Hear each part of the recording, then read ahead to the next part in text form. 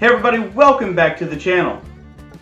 If you know me, you know that I love impact drivers. These are the most powerful, versatile drivers that you can really have, but there's one huge drawback to them, is that they have a quarter inch hex that goes into a collet, and you're really limited with what you can use. So with traditional drills, you have uh, a chuck which is basically just a little bitty vise, and you're limited by the diameter of the chuck itself having two different cordless drill drivers or, you know, anything like that, it can be inconvenient and you're going to be wrestling around. So I've actually found an adapter. So this is a impact driver, I guess, adapter, chuck adapter.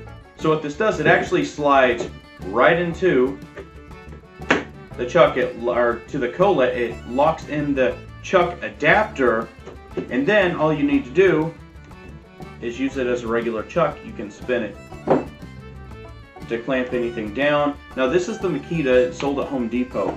It's a 3 8 inch, it's stainless steel. I've had it for many years, but I don't use it that much. So it works the same way as any chuck. It just slides in, you tighten it up just like this, and then you just tighten it down. Now, it's a keyless chuck as well. So it doesn't mean you have a wrench that you can just continue to tighten. So what we're going to be testing out today is, is this actually worth it? Is it going to replace another cordless tool, a drill driver, or is it really not up to snuff? So we're going to test, is it actually worth it? In order to do that, we're going to run a few simple tests. We're going to take this, this is a 3 8 inch, 12 inch, typical round. So we'll see how well it does with this.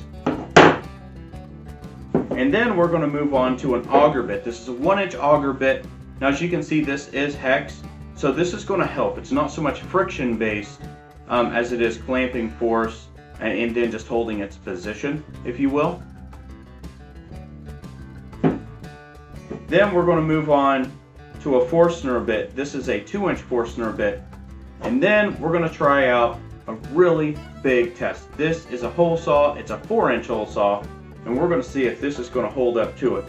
Now, I'm not going to let up on it. I want to push this as hard as I possibly can, and if I break this bit, well, I break the bit. Alright, so I found the best way to actually tighten up the chuck is just to use the drill. So what I'm going to do is I'm going to put it in reverse. I'm going to show you how I take it out. I'm just going to hold this really tight, reverse it.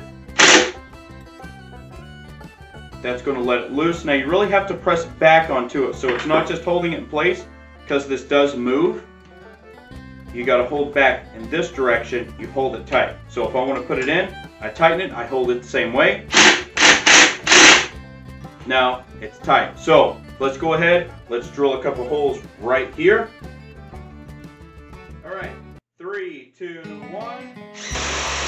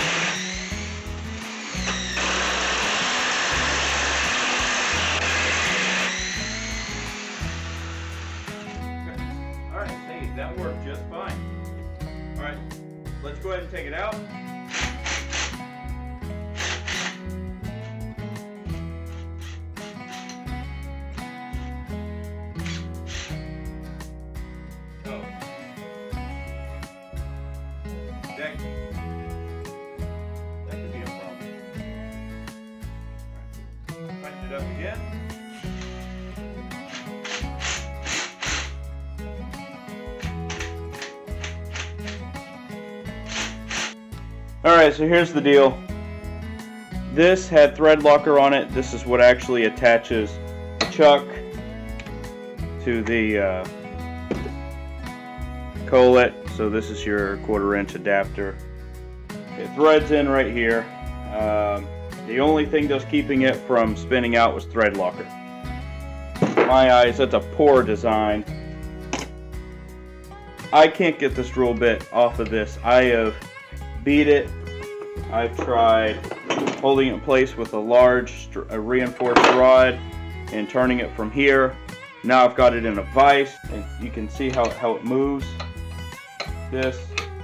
So what I have to do is I got to keep pressure on it here, pull back on it, you know, and then try and turn.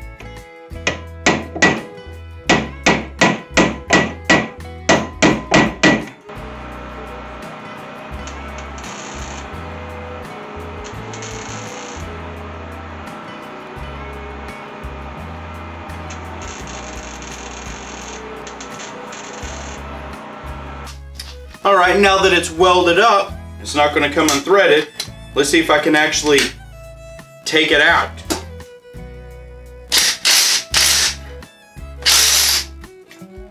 Oh, okay. All I had to do was weld it. Great. Move on to the next test. Alright, three, two, one.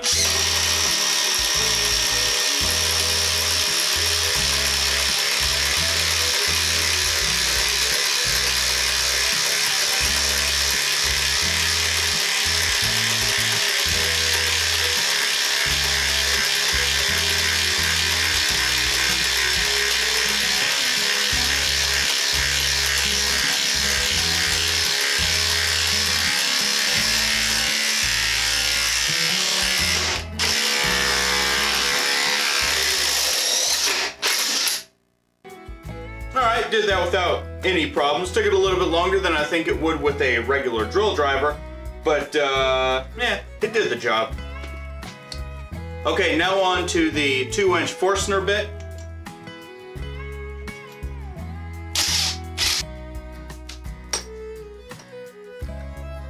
Three, two, one.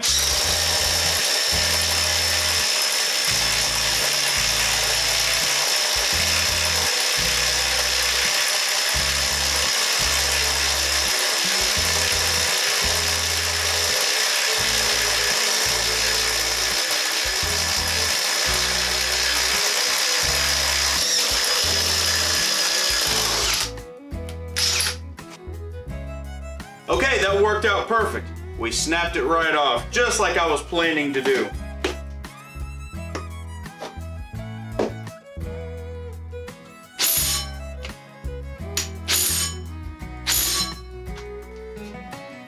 Man, I really hope I hope I don't break anything. Three, two, one.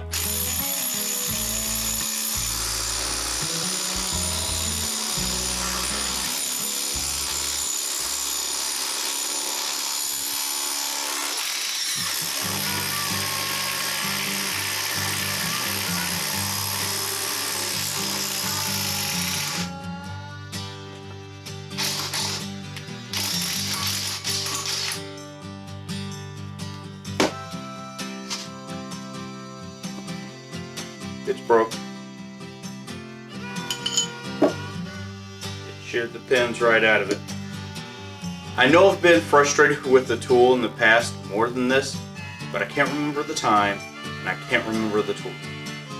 All I can say is that I hope that there is another adapter that is much better than this. Using this chuck adapter on an impact driver, in my opinion, is one of the worst things that you can possibly do. They make drill drivers for a reason. This is not impact rated. I snapped the Forstner bit. I got the typical just round drill bit stuck in it. Not only could I not get it out, I couldn't hammer it out, I couldn't pry it out, I actually had to weld the adapter onto the back of the chuck just so I could use the impact driver to get it out. I can tell you, this is the top of the line impact driver for Ryobi. It has 2200 inch-pounds of torque and it is very hot right now. I mean almost too hot to touch. If this was plastic and not steel, I guarantee you I would be able to mold it with my hands at this point in time. Um, I sheared the pins off of the adapter for the hole saw.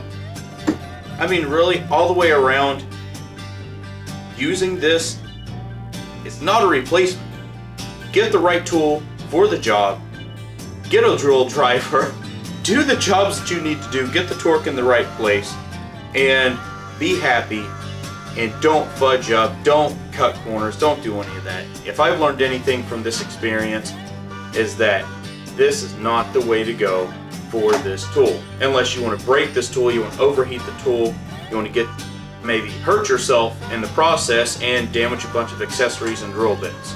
So anyways, I hope this was helpful to someone. If it was, hit the like button. Don't forget to subscribe, and I really hope to see you in the next video. Take care, everybody.